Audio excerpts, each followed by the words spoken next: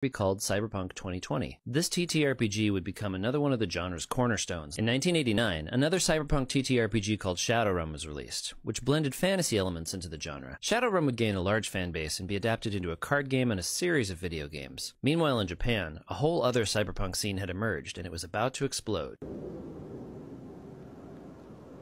In 1988, Katsuhiro Otomo adapted his own groundbreaking cyberpunk manga series into an animated film, and that film was called Akira.